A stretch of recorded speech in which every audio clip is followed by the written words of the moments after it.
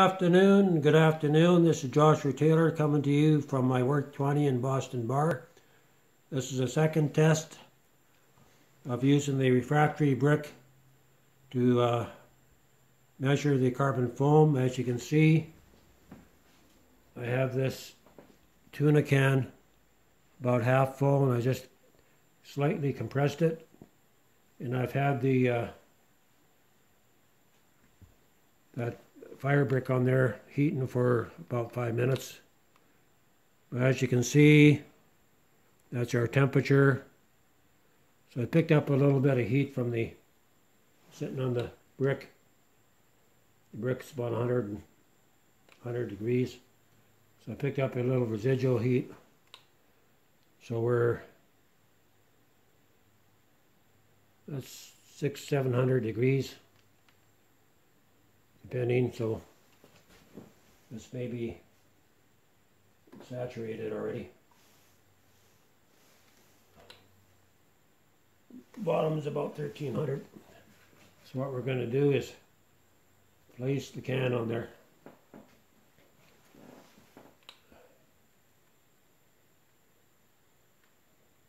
So we're just uh, going to monitor the gauge, 77 degrees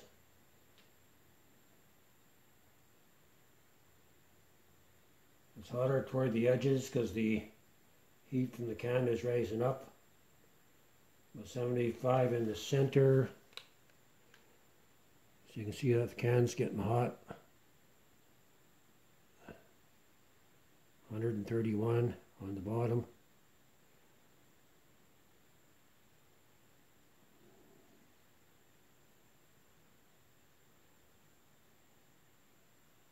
Hundred twenty maybe. So the edges, 120. You have to pull back here.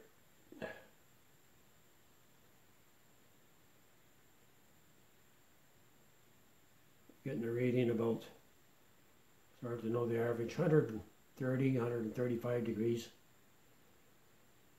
You can see a little bit of gasification coming off. Maybe what I'll do is I'm going to bring the camera a little closer.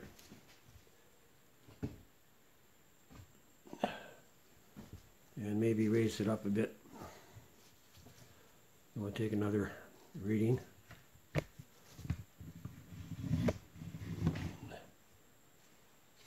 About there. And we're going to just tilt this down a bit.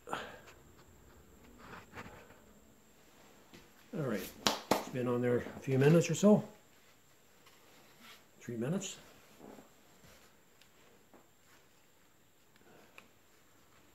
So we have fire brick, it's 192.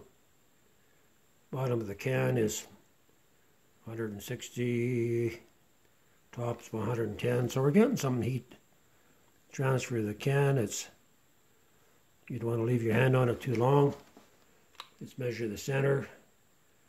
161. The sides are 170. And we know that the underneath is at least 1300. 160 degrees.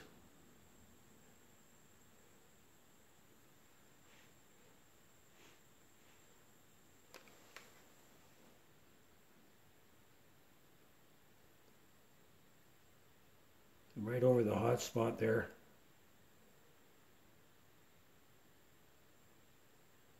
The hole's more to the right. One sixty two, one seventy. Have to pull back here.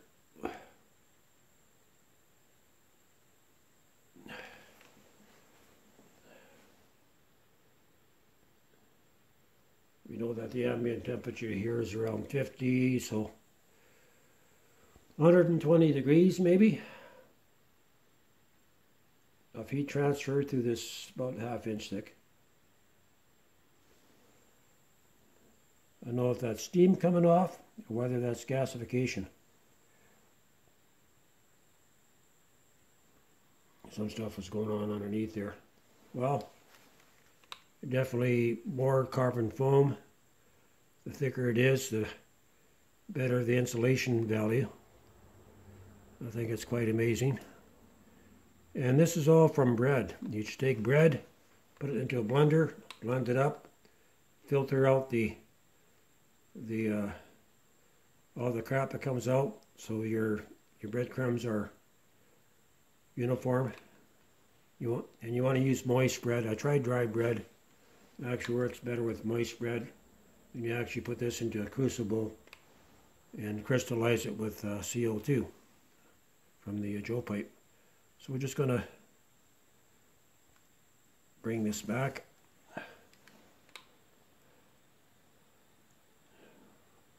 So the fire brick is already 875.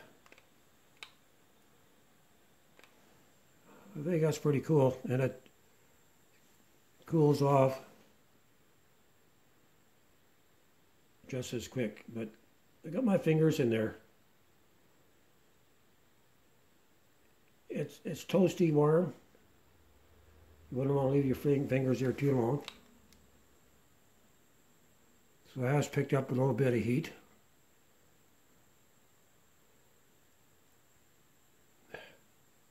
Still absorbing heat.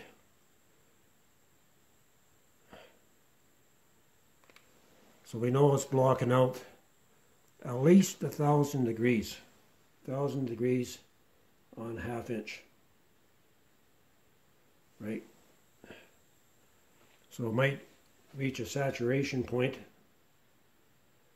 But the fact that you can make this at home, it's pretty amazing because the time will come where you will not be able to buy a fire brick.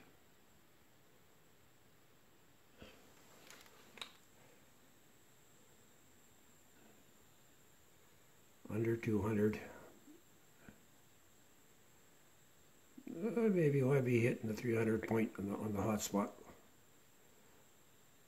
And it seems to be maintaining. The gauge says 327. So we can say 1300 on, on the heat underneath, minimal, 300 in there. Well, I can say that it's blocking out about 75 to 80% of the heat, depending on the thickness. All right, going to end it here. This is Joshua Taylor coming to you from here in Boston Bar. A lot of gasification coming off this yet. I'm surprised. It might be the tin can stuff coming off the tin can too, off that tuna can. Boston Bar, British Columbia, Canada on this carbon foam.